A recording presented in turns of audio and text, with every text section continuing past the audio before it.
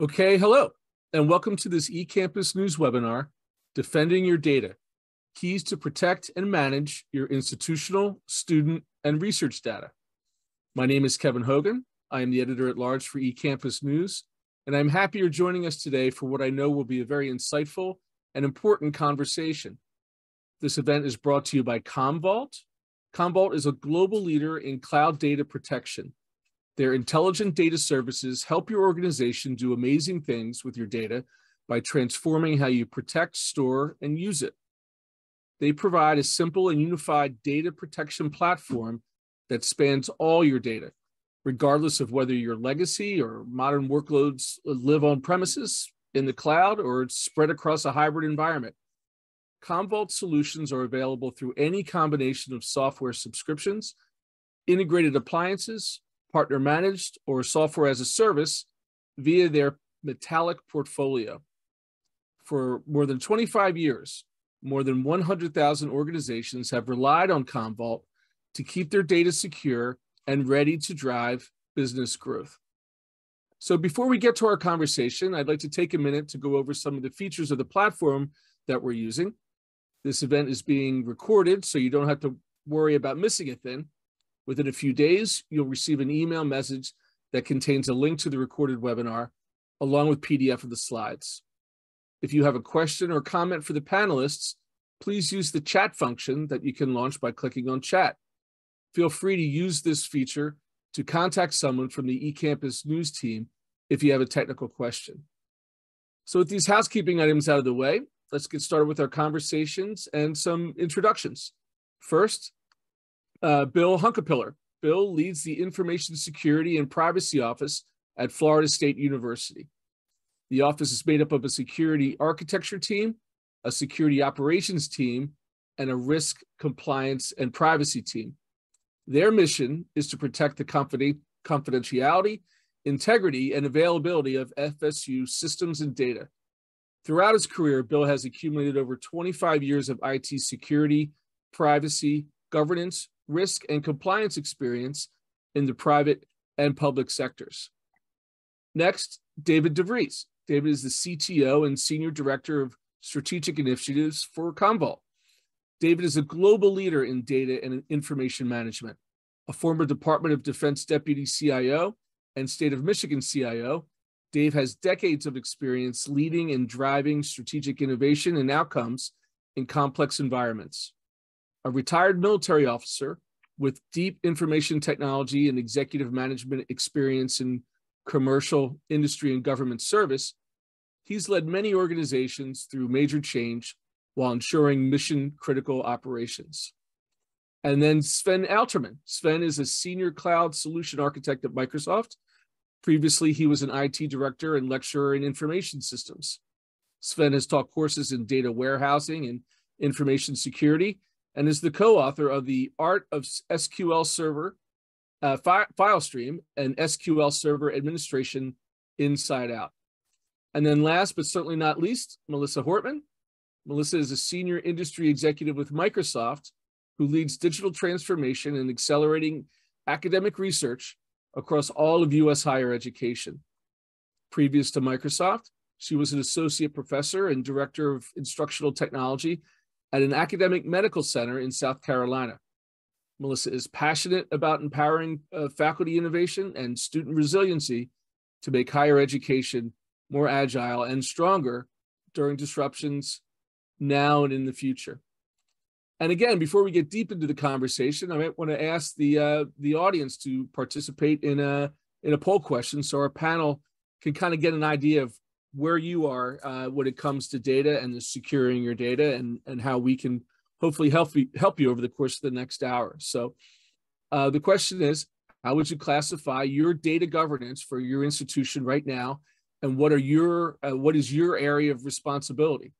Uh, this is a single choice. I suspect there might be more than a few folks who have one or more of these, but give it, give it your best shot and maybe what is the highest priority. So the first one is uh, we know what data we have responsibility and have established a data plan that covers data classification, retention requirements, and resilient resiliency requirement. Um, we know what data we have responsibility and are developing uh, an inclusive data plan covering what type of data that is, uh, those requirements. Um, we know what data we are responsible for, but we're just beginning that journey of classifying it and managing it holistically. And finally, we know where our data is, but rely on central IT or a service provider to manage it uh, to meet the compliance and retention requirements. So I'll give you a couple seconds to kind of go over those and um, pick a, a spot uh, where you think that you're more closely aligned and our panelists can kind of have an idea of, of who we're talking to out there.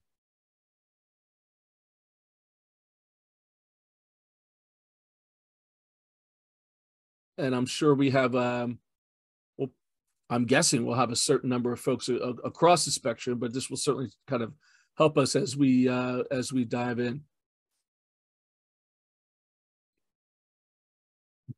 Okay, so we can see those results. Um, looks like a, a, a small majority over um, what data we have responsibility in developing a, a data plan.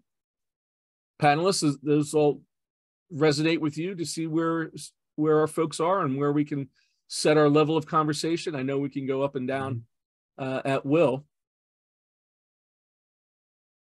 So great. So uh, thanks everybody for that. And so uh, let's get going. Uh, but before we kind of get deep into the weeds about about the data, I know that there are certain levels of conversations that we want to have. And and as sick as I am talking about the pandemic, uh, thankfully we are over the pandemic.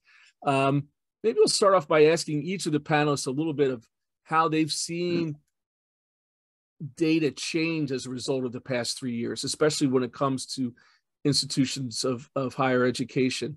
I know that a lot of moves to, uh, you know, the remote learning, that immediate move to remote learning, and now whatever level of hybrid sort of setups changed a lot of information architectures and changed the level of data protection and the necessary needs to protect data. Um, Sven, maybe we'll, we'll, we'll start with you. Talk a little bit about where the state of play is in data right now as as we come out of you know the past three years. Yeah, Kevin, thanks uh, for that. So first of all, I think we probably should have mentioned to the attendees responding to the poll that there wasn't a right answer. I don't know if they were hoping that there was a right or a wrong answer to give. Uh, I think most people probably realized that the first choice would have been the one that puts them in the best position, you know, to manage that data going forward. But I think you know, the poll results clearly showed that um, most people, most institutions, I should say, still have quite a bit of work to do, and uh, and that's what hopefully we're we're here to to help out a little bit with that. So so having said that, um, I think that the the pandemic has probably shown us or has accelerated some of the need to facilitate access to data regardless of where where people are right? You mentioned the remote learning kevin. You mentioned uh, remote work. You know, from from my perspective, uh, we have seen that um, uh, customer requests coming in uh, very often, very fast uh, for how can I give people access to uh, to this data when they are not on campus, when they're not in, in a cubicle or or in a, in a research uh, facility.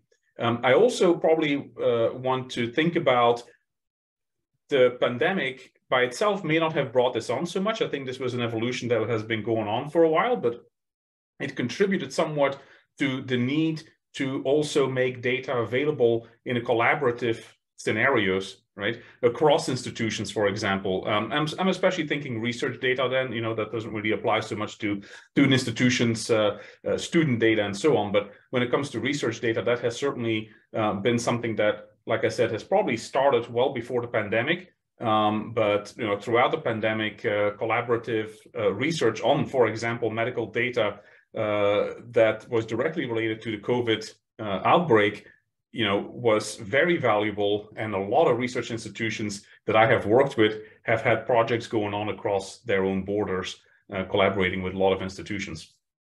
Yeah, and Bill, maybe you could talk about you know kind of feet on the ground there at FSU and about how uh, you see the the importance of data become accelerated during these you know, during the pandemic? Yeah, I mean it's um, you know I think you know before the pandemic we were more concerned about protecting our assets, you know whether we were in the cloud or on premise, kind of kind of as a wall or a castle, but now people are working remote, they're studying remote, they're um, in different locations. And my concern is, you know, what what are they logging into FSU systems on? Is it a student worker who's doing a research project with confidential data? They go home to visit their grandma. They log on to a Windows 95 machine that's already compromised and it's got keyloggers on it and malware. You know, those are the concerns that I have. And um, and, and there's certain things that we can do to to help with that. But you know, it's no longer just kind of this castle wall uh, situation. It's people distributed all over the world accessing your data and should they be able to download certain types of data should they not be able to um, and then if, if they do how do you protect that um, so i mean it's it's just changed from kind of more of an on-prem world to all over the place. And certainly sven was talking about research. You know we're building research enclaves um, actually with microsoft and uh, and also with some some other groups. But it's um, you know the data's on prem the data's in the cloud and you've got people all over uh, fsu and our partners accessing it and it has to be done securely. So it's kind of a different world. Yeah. How does that resonate david with uh, with your experiences so i think that that's all very very accurate and, and what, what's also happening and, and as sven said it probably speeded up more during the past three years during the pandemic is a focus toward risk management not ultimate uh, exact science on security. Uh, you know, four or five years ago, it was if you buy this, you buy that tool and so forth, you can lock the, the, the doors or permit only those to come, come through there that have the right keys in their hands. And now it's more or less moving away from the systems approach and more toward the data side. How do I protect the data? Well, for me to protect something, I need to know where it is. And so that alone has been a real learning curve for a lot of the universities out there is just coming to grips with where is the data really stored at? Because in the past, if the researcher got the grant and they bought a server of approximate size and they plugged it in and ran it underneath their uh, desk with the graduate students helping them, that was where their data was. Now suddenly, you know, the, the universities as a whole are taking the whole risk management side and security side uh, very much to heart. And two, how do I share it? Just as Bill talked about, and share it reliably there. Right, right. And Melissa, I'll I'll, I'll tap your uh, tap your thoughts on the, on the initial topic here. So, uh, just kind of having conversations with uh, a lot of different uh, institutions across the US lately about transformation.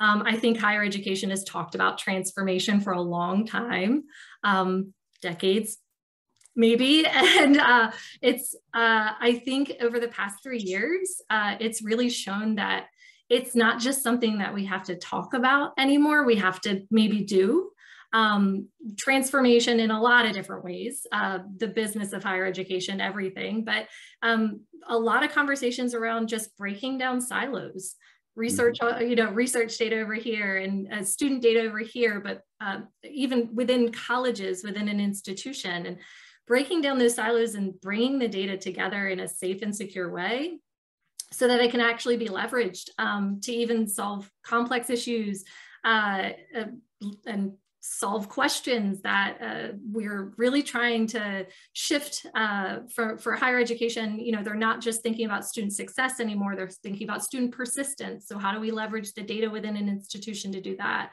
So I think institutional data is really, um, it's a really interesting area right now because I think it's kind of, um, you have to do something about it, right? And I think there's a lot of pressure to do something about it now. And, and so how do we do that again in a safe and secure way?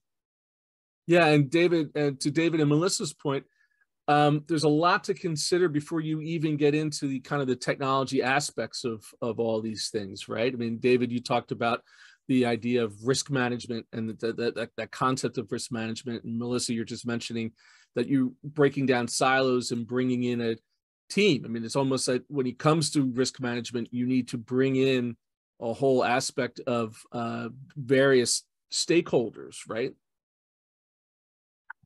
David, I'll throw that one at you first. Well, it, that's very much true. I mean, the, the total risk management perspective is a team sport. It is not just one assignment that you give to a certain group of people and say, manage the risks on this and tell me what you come up with, uh, fill out your spreadsheets and so forth, and just give me a, uh, a roadmap for it. It is a, a continuous dialogue because things are constantly changing from what data you have, who is, has access to it, who needs access to it, where is that data stored at, what kind of clouds, uh, because there's pressures on these institutions to continually evolve due to grants that come in, grants that expire, uh, the need to share it across other uh, universities, as Melissa pointed out there. And then two, how do I do all that stuff as technology continues to change every single day?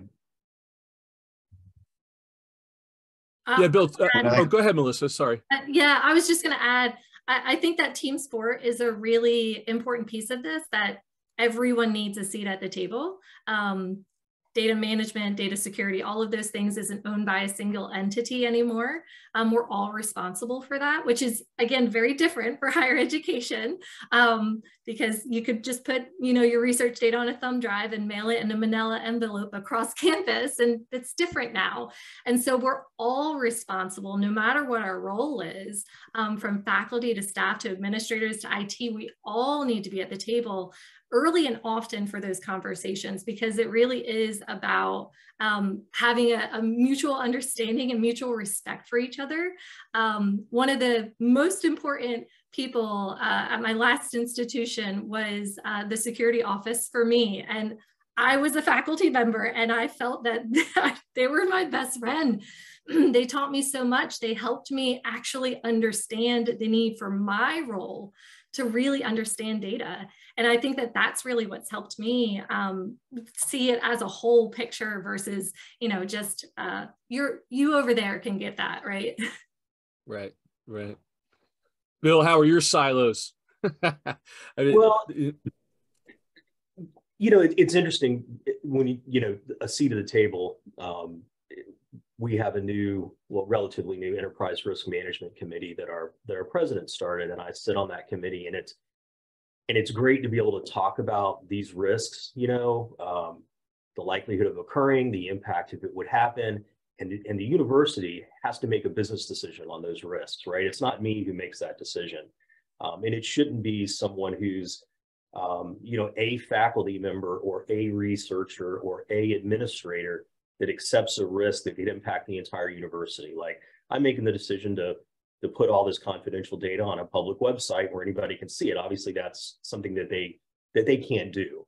Um, but it's a business decision. So my job is to you know to identify that risk, bring it to the university, and then we make a decision. And so if there's a risk, um, uh, you know, say we have a data center that doesn't have a, a generator, that's not the case, but if you had that and the university said, well, yeah, we've got UPSs, they'll shut the machines down after 10 minutes and there's nothing critical on there. It doesn't, it's not a mission critical system. Okay, cool, great. But when we lose power and those systems get shut off, that's that's what we accepted and that's what would occur. Um, but but that's what's important is being able to bring those things up and getting a decision made so that's either within or or outside of the the risk tolerance of the institution and then you need to do something about it to bring it within that risk tolerance. And and we've had that. Uh, I've been invited to that. I've spoken at that uh, committee, and it and it's very encouraging to see it. And I think part of that is with like GLBA, the Gramm-Leach-Bliley Act, the the qualified individual, the CISO, from a security standpoint, has to report to the board. The FTC is requiring that now for public universities because we see over and over and over all these events occurring in higher education, in you know uh, private industry and, and and in the government. I mean, we saw something about one of the FBI uh, sites got hit the other day, and it's it's uh, it's serious business, and it's and it's not just the CISO who's responsible for it, right? Um, and and so for me, it's always been, hey, I want them to know what that risk is and make a decision as to whether it's acceptable or not. Partially because it's a CYA for me, but it's also it's a business decision and that business decision has to be made and i can't make it always right? It's not appropriate for the ciso or for it to say yeah we don't need backups. Yeah that's not important. Yeah we don't need a you know a generator on our data center. That's not important. We don't need to encrypt anything. Why would we do that? Yeah. you know those those are decisions that can't be made uh, within it that's a that's a business decision so anyway Yeah, Sven, does uh, Bill's experience resonate with, with what you've you've been seeing? Definitely. I was gonna, as as Bill was explaining that, I was definitely thinking back to recent conversations I've had with a few customers. I think most recently, what our customers have been experiencing, especially those with medical research data, they have been facing um, the Center for uh, Medicaid and Medicare Services uh, new regulation to have an SAQ, a self-attestation questionnaire, uh, to be completed before they can um, use that data. And so they need to attest, uh, you know, that they have certain protections, certain controls in place, that the data will be handled in accordance with, uh, you know, the agreement that was reached for the use of the data. And that is something, uh, as Bill was saying, not just one person is going to sign off on that. I've actually heard literally a customer in the last week say, someone in the IT security office say, I am not signing off on this. The researcher needs to sign off on this. um, you know, because there are too many things on there that the researcher needs to do. So it's definitely having this this seat at the table. You know, the table is is growing. I think, um, you know, there are more chairs around the table. Uh, more people need to be there, and I think they all need to understand the significance of what it is that they're dealing with, right? What the impact is going to be if something goes wrong. Um, and then like like bill mentioned make a business decision as to what is the most effective and appropriate way uh, to implement controls to educate people you know to monitor what is going on in the environment. And and you know in, in, the end it all goes back to the data. Um, when i uh, fairly recently took a, a training course uh, that dealt with with CMMC, which is also another big topic um, certainly in uh, uh, for, for anyone dealing with Department of Defense data now, um, the the trainer said, you know, follow the data. Right? That that is that is what matters. You follow the data. So, David, I see you were trying to chime in. Go ahead. Well, I was just going to say, so the so the uh, the whole thing behind the data side is just that. It's where is this being stored at? How do I protect it? And what's changing today is in the past, decisions were elevated up to the board of governors or the uh, regents based upon what? How much money that particular college or that particular entity was bringing into the college. So the more money you brought in, the more prestige you had, the more voice you had in certain things. Bill, you might have some anecdotes to this too, but I'm seeing it now shift to more of look at the data and the implications of what happens if that data gets out or it's not shared to the institution as a whole. So now other voices have a stake in this thing, and that's where they need to have those discussions about. And we're seeing some of those universities just jump on that and have those changing board processes, if you will, or the governorship, uh, and then and then taking action on it because it's no longer a committee with the power of no. It should be the committee with the power of yes. How do I move this university forward? How do I how do I keep sharing this data, protecting the data, sharing the data uh, in, in a very changing world because the threat actors are changing every day. Mm-hmm. Um, and so is the other technologies and, and, that kind of stuff. So, yeah, and it's, it's interesting because we've seen, um, you know, as as researchers are applying for grants before the award comes in, they want a, an, an attestation from the CISO that things are quote secure, mm-hmm. which you know, there's no such thing, right? I mean, I can talk about the controls and uh, and compliance, but there's you know secure is is a pendulum, right? I mean, it's a so, but we're seeing that we're seeing uh, grant uh, agencies scanning, doing third party scans of our environment and saying, hey, we're we're concerned about some risky areas. We're concerned about you know giving data to somebody who's not at this level. So it's for me, it's you know security is a competitive advantage, and so the better security that we have as a university you know, when somebody goes to present uh, a grant, it's, hey, we, we've got a third party risk score of this. Our competitors are down here. Do you care about the security of your data? Because if so, you know, it, it's a, it's a competition in my opinion. Um, but uh, we're, we're seeing more and more of those attestations, uh, forms to be completed for grants. Our cyber liability insurer wants more and more controls and mm-hmm. technology to to maintain that insurance, and it's because they don't want you to get breached because they got to pay out. So, um, but yeah, it's definitely changing. Um, I kind of feel like you know when when you go home for the holidays, there was always the the adults table, you know, where all the big people sat, and then the mm-hmm. kids were all over here, and it seems like security went from you know the kids table to to, to up at the big table with with turkey and the dressing and everything, and it's um, it's it's good to see that. It's good to see that. Well, certainly when you see the news reports about the constant barrage of attacks that are occurring, and not you know not only at uh, major institutions, but just really you can go all the way down to K twelve and school districts. It's uh, it, it's a hugely important issue. Mm-hmm. So now looking back at our our, our our poll questions and where people are in the journey, I think it might be appropriate to kind of maybe start a little bit at the at the beginning and talk a little bit about the basics for what each of you think of when you think of uh, the basics of cybersecurity. Um, maybe Melissa, we'll, we'll, we'll talk with you uh, about where you can see that that that primer for some of those folks who are just at the, the first steps. You probably shouldn't start with me because I'm one of the end users. I'm one of the people that Bill's like, don't do that. And I'm I, you know, it's interesting kind of coming from uh, the other side of things and um, kind of seeing this from a non-technical role of how do, you know, how does cybersecurity affect me um, in my role in digital transformation, in my role as a researcher, as in my role as a faculty member.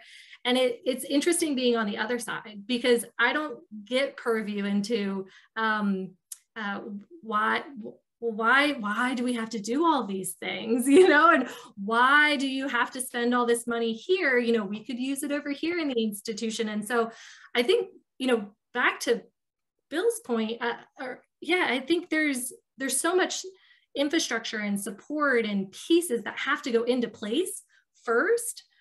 So it's just this foundation of uh, people support training um, all the pieces so that the end user, the, the me's at the institution can do their job, can do their job effectively, can, can actually ask the complex questions and get answers, can find um, insights into the data and not just have data, um, can use the data um, in a lot of different ways for my research and share it with the community and actually push forward open science, you know, all the things that we want to do as the end user um, we need the bills of the world who, who really do dig their heels in and build this strong foundation.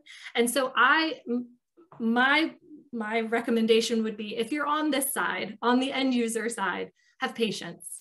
Um, mm-hmm. I think that's the biggest thing is have patience as these uh, changing technologies and changing um, federal regulations and all the things um, are going into place so that security offices can really make sure that you can do your job effectively. And once an institution is in sync like that, I think there's no stopping it. So it's just, uh, that would be my biggest recommendation. Have patience. and I mean, it's true because security and convenience don't go hand in hand, right? I mean, you know, we you know we have to do multi-factor authentication. You know we're told to use different passwords for different websites and and that makes it hard i mean to to remember all of that and follow all that. But but melissa's right. I mean we can have all the technology in the world but when um, when someone is phished when someone has been attacked from a social engineering and that data is exfiltrated and that happens and it's because people want to be trusting people want to help you know? Um, and it's uh, you know it's it's it's it's a technology problem it's a people problem it's a bad actor problem but you know you want to protect things i mean there's a cost to security there's a cost to compliance and you don't want to overprotect things if in, unless you really have to right? I mean it's uh, but at the same time you want to protect things appropriately. I've heard people say well hey you know all my data is public so i don't care. It doesn't need to be secure. It's like well what if somebody goes and manipulates your data? You didn't know it, and all these research articles you published are now null and void because they changed all your data. Um, so it's, but you're right. It's it's um, not everybody likes uh, the the security people, and um, it's just it's the nature of the beast. But it's a fantastic job. I absolutely love it. Um, it's absolutely fantastic. Yeah. Yes, and it does. It, it does seem that um, you know behavior uh, and the, the management of users' behavior is as important when it comes to these security things as the, the technology itself, right? Mm-hmm. Oh, absolutely. Yeah. I was talking to a buddy of mine who's whose whose dad is just about to turn 90 and he's getting text calls every day. You, this check bounced, uh, you know, we need gift cards, you know, your social security check is bounced or whatever, you know, and it's people are susceptible to that. I mean, all the way from, you know, my 15 year old son gets the same sort of spam messages, texts, and emails. And, you know, it's, if it's too good to be true. Right. It, usually is. Yeah. But then now, so Sven, I mean, so you have that user side of things, but now the other responsibility is uh, probably on on the flip when you when you think about the various compliance regulations that institutions have to mm-hmm. uh, to follow through, right? I mean, which are, are meant to help protect, but again, they can be uh, they can be a sticky wicket themselves too, right? Yeah, they, they certainly can be. And you know, we started or, or or sometime earlier in the conversation, we talked about risk management, and that's really what it boils back down to, right? As part of the risk management approach, you're going to determine, as Bill was saying, you know, the data is public when we think about security, and I'm going to sound like a cybersecurity 101 instructor here, but you know, you've got confidentiality, which is what most people think about when we think about data security. But there's also the integrity aspect and the availability aspect, right? There's a, CY, a CIA triangle or triad there of security, you know, and that researcher that might be telling the CISO at their institution, all this data is public, this doesn't need to be protected. You know, Bill gave a great example of uh, you know what if the data gets manipulated and you're unaware of it i'm also thinking of what if you have a contractual deadline to meet to produce research results and the data is unavailable because it was stored you know inappropriately um, there, there, there were no appropriate backups or the you know the things that we've all heard before right, uh, about data availability. So all of those things are very important. And actually, as it turns out, you know, a lot of the regulations that we're dealing with aren't just talking about the confidentiality and the privacy of data. They are talking about the availability of data. You know, certainly HIPAA, for example, has a significant um, uh, portion in there about the data needs to be available and the integrity needs to be um, guaranteed as well. But from a from a business perspective, I don't know if you could say that confidentiality is more important than integrity or availability. They all are going to have a significant impact is if one of them is lost. You know, David, I, am sure with your wide range of of experience, you've seen some of those things before as well. Um, so maybe I, am interested to see what your thought on that is. so that's very true. And, and what you just kind of talked about, going from the risk management side of the house to the various tools out there, it's not about how many tools can I buy? When is my budget going to exhaust itself and I can no longer buy more tools? So therefore, I'm going to be at this point. It is about how do you manage your data with the appropriate set of tools that will be continually evolving uh, as you look as you learn more about your environment there. You know, one of the things that we did, I was one of the, the founding uh, fathers of this thing called Federal Ramp or FedRAMP, which is the certification process under the, the NIST. And it was for that government data. Well, guess what? Some of that same stuff now is happening down at the state level, and it's also happening down at the higher education stuff because they've realized we have got to follow what I would call the left and right guidance, because that's about right for the minimum security thing. And so a lot of the universities subscribe to that uh, process called HECVAT, um, and we, the vendors, have to uh, analyze our stuff, and we have to self-assess to them and then they can go back and, and, and score us on it. And that's all the right stuff because that's helping us all work together on mm-hmm. managing the risks that are continually out there for us. Yeah, and we use the HECVAT and also uh, a SOC 2 report from, from yep. vendors from a third party risk management standpoint. And uh, and it's you know it's very helpful. I, I prefer the SOC 2 or, or another independent security audit, but but if they don't have it, here's the HECVAT, and and you can get some really good information and and, and start identifying where risk is within your third parties um, as well. So I was I was listening to somebody the other day um, on a webinar or something, and they were talking about their they were a, a supply chain issue with cardboard boxes, and this company was you know needed to ship their material, but they couldn't find any boxes. And it, those are the sorts of things. I mean, that has really nothing to do with data, but basically you just shut down the company and made it very difficult for them to do anything. I mean, I guess they went behind liquor stores and got, you know, boxes and tried to ship things as best they could, but it's, you know, third party risk can't be, you know, uh, dismissed either. So. Mm-hmm. And, and what's phenomenal out there is that so we have some larger corporations here represented on this thing here, but there's a lot of companies that we all work with that are smaller, more of a niche type thing that go to the universities to help sell them a, a critical capability there. They need the help too. And that's where all these uh, standards and certifications come mm-hmm. into play so that even if they help resell our stuff, they know that they can stand up to Bill and say, I know that this stuff is certified and it's safe to use and so forth. Yeah. Because we're all on this thing together. Yeah, you bet. I, I found it very interesting that that uh, you know Bill was saying that. Well, I'd like to see a SOC two, you know, at the station, but you know we'll take a HECVAT if we need to. The the big difference there, you know, is how much does it take for that vendor to present that SOC two versus that HECVAT? You know, I can complete an Excel spreadsheet uh, you know, quite quickly. But uh, if I, as a vendor, am required to go to SOC 2 attestation, it goes back to, you know, maybe security as a competitive advantage, but it also goes back to meeting some of these requirements. There's there's some work involved. There's effort. There's there's cost. You know, there's personnel. You know, you need to have the right the right people with the right skills to to manage that as a as a vendor. And uh, th- those things uh, are, are definitely coming to the forefront um, in a lot of a lot of cases, way more than than we just had a few years ago. Yeah, and even if you've got a SOC 2 that doesn't have any qualifications or your HVAC is good, you still can have an incident, right? We see we see that all over the place. So it's it provides some assurance, but it doesn't mean that you know that you're you're not going to have something because you can't eliminate that risk. So, um, as I say, you've at least met the basics. Yeah, you're, safe for the road, so to speak. Now, how you drive that car may still be a whole different question, but that's right. This this part that you're now going to put on your uh, network and so forth. It is safe for the road, and this is how that cloud provider or that vendor put it together and how they're operating it. And you know, to us at the vendor side of the house is really fascinating because those SOC 2s, it's an internal audit of our people, our processes, and how we made this stuff. And so it is out there. And so here within Commvault, I think that's true within most companies. Once we get our SOC 2, we provide that to the customer upon ask but we make them sign up on non-disclosure things because why? Because I'm baring my soul to you on what our product was doing and what our processes are, and we expect that to be uh, protected. Mm-hmm.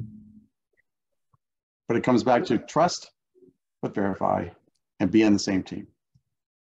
Yeah, it's like when someone asks for a copy of your penetration test report, it's like, no, we don't get that out. Sorry, thanks for playing. Yeah. Well, David, I'll, I'll, take your your analogy with the car and uh, ask about another aspect of this whole risk management strategy is that idea of cyber liability insurance. Uh, anybody on the panel want to talk a little bit about uh, why that is necessary in today's uh, higher education data security landscape? Well, well, before coming to FSU, I worked in the insurance and reinsurance space for about 11 years. Um, and we have cyber liability insurance, and we have it for a number of reasons. And I think a lot of people say, well, it's just to pay the ransom. And that's not what the insurance is for. It's for incident response, it's for credit monitoring, it's for call centers of people that have been impacted, regulatory fines, uh, legal defense. Um, and it's uh, it covers a whole bunch of things that are outside of just what the actual incident cost is. Um, and and it's you know I was looking at something the other day um, that the the actual cost of an incident is eight to ten times more than what the the ransom would have been because you you're still going to lose data you're still going to have issues so you know it's interesting because we've seen just an increase in the premium an increase in the retention or the deductible over the past several years but it seems to be starting to stabilize a little bit because these insurance companies are pushing requirements on mm-hmm. on organizations saying, hey, if you don't have this, if you don't have multi-factor authentication, if you don't have a privilege access management system, if you don't have an immutable backup, if you don't have enterprise encryption, if you don't have endpoint detection and response, you're too risky. We think you're too risky to insure, and you're you're uninsurable. Um, and so we even have grants that require it. We have contracts that require it. And so some folks go, well, we'll just be self-insured that's not as easy as just saying I'm going to be self-insured and I'm going to put you know 10 million dollars in the bank to respond to something because that's not going to do it. Um, but it, it's it's fascinating because it's uh, the, the insurance companies were losing their shirts at the beginning of it, and I think it's starting to stabilize. But it's because they were requiring us to to buy and implement more technologies, more controls to to protect the enterprise. Mm-hmm. Yeah, I, I, I don't have a, a, whole lot of personal experience with cyber liability insurance, but one thing I do know about insurance companies, having done some consulting work in a, I guess it was a prior life uh, for insurance companies, was that uh, they, they're they're pretty good at assessing risk and they're pretty good at doing the math. And I really think that you know when Bill is saying the cyber uh, liability insurance companies are now requiring you to demonstrate, you know, and implement certain techniques, that means one thing. It means that those techniques are effective, right? Um, you know, and they've done the insurance companies have done the math, and uh, I think that's that's certainly something that that I think uh, can be eye opening uh, for for some institutions. You know, if their insurance company says we need to have this. Uh, uh, you know the, the, these controls implemented you know we need to we need to have our users educated all these kinds of things it's because it really works and it makes a difference yeah and it's it's new and it's changing so much it's not like life insurance or or or mm-hmm. driver's insurance your auto insurance they don't have you know decades and, and years of research it's it's pretty new it's pretty common uh, or pretty new and so they, they don't have all that data to, to really uh, uh, to, to have a, a solid analysis that hey if you have this you're good um, so there's a bit of an art to that to that underwriting science there, you know. Right, right. Uh, let me just take a break here, um, really briefly, and, and remind the audience if you have a question or you have an idea or you ha- have a an opinion that you want to share here with the panel, uh, please feel free to enter it into the, the Q&A portion or the chat function. Either or will get to us and we'll make sure that our, our panelists uh, can answer that maybe at this time, maybe we can kind of move a little bit from the idea of these insights to uh, action when it comes to when we're talking about data and where it is spread across your campus and maybe look at different ways in which you can classify the data. And maybe uh, david we'll, we'll, start with you maybe if you can kind of set the table for us when we're talking about um, what it comes to the value of data. Sure. And I'll go back to some of my original comments here where we're moving away from systems that created the data, that were certified to collect the data in the first place, authorized by the university or by the state laws or by the federal laws to collect that type of data, and then for what purposes it could be used for. To more of know the data, where is it at, and so forth. Some of those other restrictions are still there. Why did you collect the data? What authority did you have to collect it? And then what are you going to do with it? But as we're going into more of the data action, so to speak, is now that I know where it is, it's no longer because this grant and this group of researchers here got the money and the need to collect this data. Therefore, I'm going to let them store it in their own little uh, either logical sands or their own cloud or their own desktop computer underneath their desk. I'm going to now take that and put it more at the enterprise because then I can put my, my enterprise tools around that but also allow them to help me help them manage that data. So you're seeing more and more of that, and that will also help reduce some of the risks for uh, threat and so forth. That, that as you sit down and talk to those insurance folks, you can help drive down your costs, and that's where we're getting involved more and more now with these higher level education institutions. Is how can we help reduce our risks and therefore reduce the cost of our cybersecurity insurance? And Any I, of the other, I think the, from my past background, you know, you know, I'll, I'll let uh, Sven and, and uh, Bill talk to some of this too. When you get a grant from the federal, especially, it doesn't just come with money. It comes with requirements. Mm-hmm. You know what the data is. Here's what you collect. Here's how you got to protect it. So we've also had it in the federal, federal space for many years, it, but it, it's, get, it's beginning to get more teeth in it now, and that is controlled, unclassified information. So it's not just any information out there, it is now this information that they deem is sufficiently critical enough to protect it, control who has access to it, and how do you put it up, which is now causing the IT departments, um, the universities as a whole, and even the specific colleges to look at that and say, hmm, we got to take a whole new approach on data there. I'll let Sven and, and Bill talk to some of that now.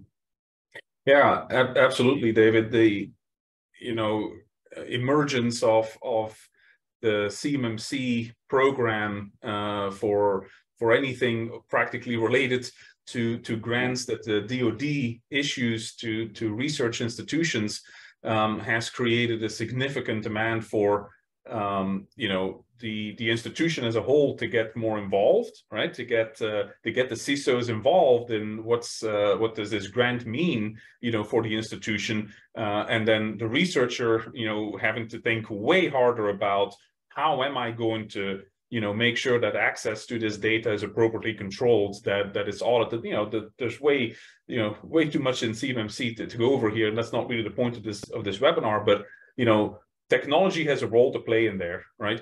Um i you know i love technology. I've been a technologist for probably all my life even though i didn't always know it.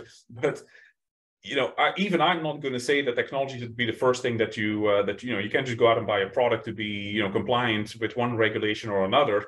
You know the, the, the processes need to be in place the people need to be educated and so on. But at some point you know technology is going to have a role to play. You know at some point we are going to have to put technical controls in place you know and the way the way that you are going to handle that you know is going to be dictated by what kind of data it is um, and who's supposed to have access to it and it's also going to be dictated by what technical capabilities do we have you know, I've talked to a lot of higher education institutions uh, about building research enclaves in the cloud for the simple reason that it's very, very difficult on an on-premises environment to effectively segregate that data. You know, many higher educations until not too long ago, you could walk into any building, with a laptop in your hand, with a network cable in your hand, sit down in some public space, find a network port and plug in. Now that's changing a little bit. You know, I, I, certainly know the institution where I was has been making changes to kind of prevent that from happening, but it's not been that long that that was absolutely possible to just do that. Unauthenticated, walk into an open building because, you know, classroom building, everything is open. You sit down, plug in a cable, you know, that makes it very hard you know to build an enclave um, and so we've seen customers you know coming to us with requests for how can we effectively build uh, an environment that is segregated from the rest, uh, where we have all the necessary auditing in place and so on. Yeah, definitely. So um, Melissa, that's yeah. I mean, that sounds like we're there, there, are some needs for some of those silos, even though you've built you, you've broken them down at the uh, executive level, the strategic level. You still need some silos built up, right? When you when it comes to different levels of classification of data.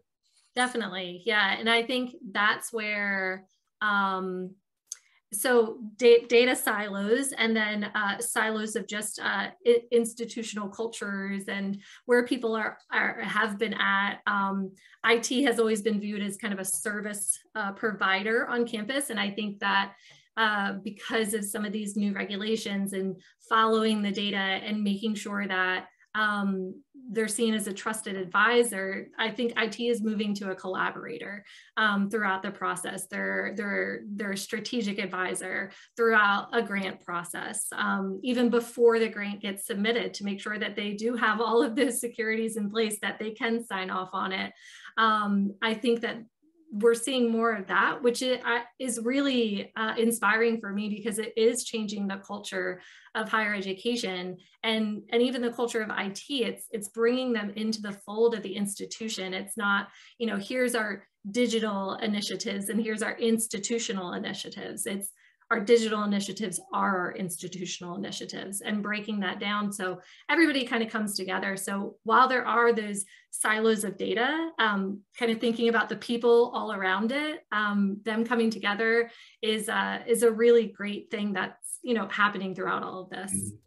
Yeah, uh, you know, I, th I think Melissa made a great point there. You know, the silos are, are organizational, not not just around the data, but you know, even Kevin, even talking about data silos, um, yeah, it sounds like a bit of a contradiction, right? But at the same time, you know, I think that the fact that, for example, the Department of Defense is saying we need partners in the academic space to help us conduct research, to help us evaluate solutions, is actually breaking down a silo.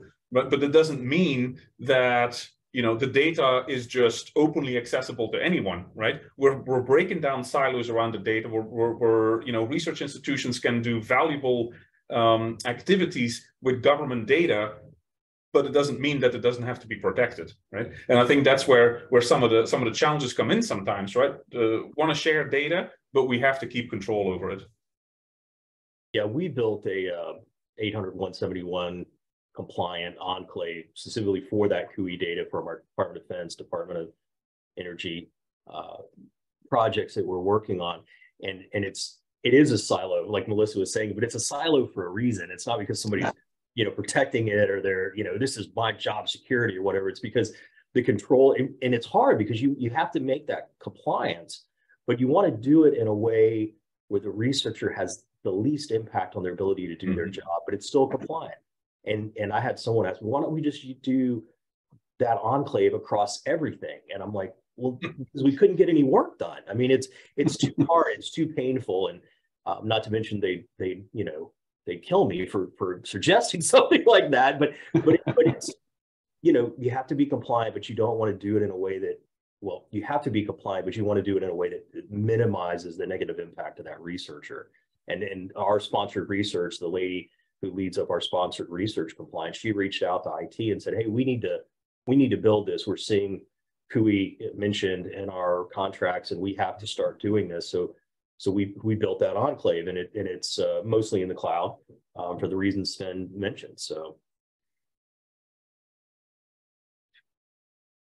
Yeah. So uh, I knew that the uh, the toughest part of my job this afternoon would be to end the conversation. I mean, there, there's so many different aspects of protecting data and and the strategies around there. But uh, with the time that we have left, I thought with the panels, I, I just kind of ask a final question of, of, each of you.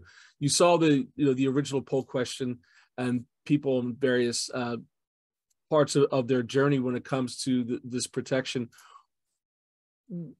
If each of you could give us one piece of advice, so no matter where you are on that path of what would be the number one priority in your opinion for for someone who is on the call today of what you know once they get off the webinar here and what they need to check uh, before they go home, or maybe once they get home, they can they can log in remotely and check on what's what's uh, on what that priority should be. Maybe Sven, I'll I'll start with you.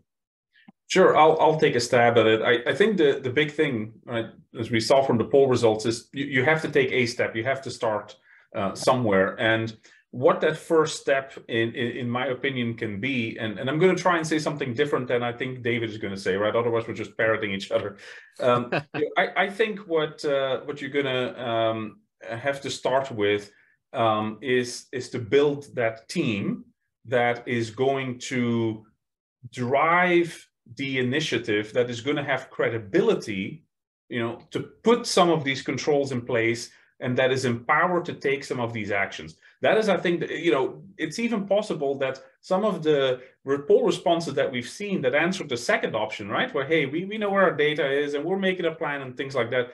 You know, is that team really in place that is going to have that credibility institution wide?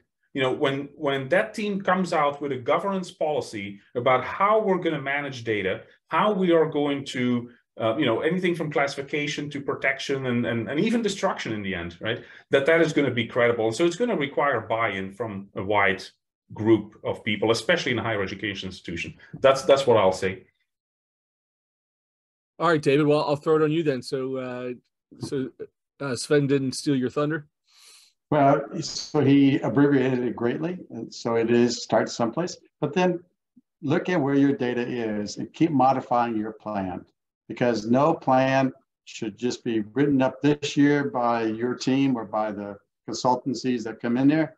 But it's a plan that's written, it can be shared, it can be seen, but then modify it and look at it very frequently, many times through the years, not just when you're doing the uh, final budget submission before uh, the uh, beginning of the fiscal year there. Yeah. Good advice. Uh, Melissa, I'll throw that one on, uh, on to you as well. Uh, well, I always say you don't know what you don't know. Uh, and in this, uh, you know, you don't know what the maybe the next step is. Um, and I think uh, to Bill's earlier point of you don't want to bare your soul and, uh, and show everything that you got, but you got to have conversations. I think with um, your peers that are on, at different levels. Uh, you have to find somebody that maybe is ahead of you in the next step and behind you and around you. Have conversations, talk to people outside of your institution, um, and and even some of the vendors that you work with. I you know I didn't know what I didn't know with Microsoft. And there's a ton of resources at Microsoft to help people, um, not just in education, but uh, resources that they can leverage today. And I think that that, you know, just trusting one another in this, uh, that we're all in this together, not just at our individual institutions, but um, you know, as technology is changing, as the world is changing in regulations, it's, you know, how can we all come together uh, to move uh, forward in defending our data? Uh, it's gonna, it's a team effort inside and outside of the institution. Fantastic. Thanks, Melissa. And Bill, we'll leave you with the uh, with the final word. Well, I, I mean, I mean, I think obviously with data, you, you want to start with your inventory, right? Is is where's your data? What is it? What are what's the requirements for it? But take a risk-based approach. I mean, start with your most critical data first. And and like David said, you got to review it on a on a regular basis. I mean, you know, one of the things in our risk register is that our data center, which is I'm pointing over here, not that you can see it, but it's across the street you know, we're two miles from the airport. And so is there a risk of an airplane crashing into the building and taking out? Yeah, likelihood's very low. I mean, the impact would be high, but we have to review that on a regular basis. One of my team members, he went and got his pilot's license, bought an airplane and got a hangar at the airport. I'm like, well, I got Jack flying all over the place now. Our risk has gone up. So we have to evaluate that, right? Um, so factor. you know, yeah. take a risk-based approach, inventory your data, deal with the, the biggest things first um, that, that are risk to your organization. Um, that's that's that's the way we handle things. So. Well, once more, some some great advice from from the panel here. I see that our time is just about up, so I'm going to wrap things up here.